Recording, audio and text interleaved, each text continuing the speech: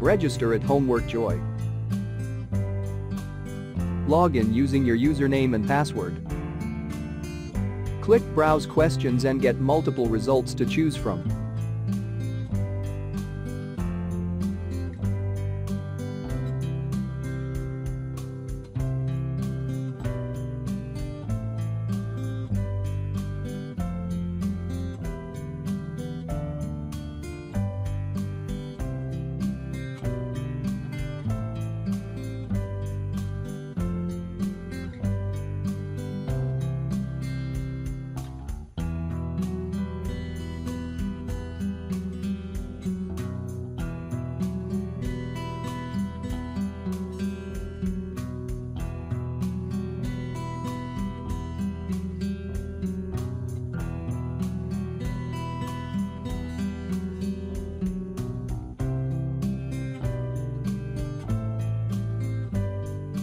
Preview the questions and then press purchase this tutorial get access to the whole solution.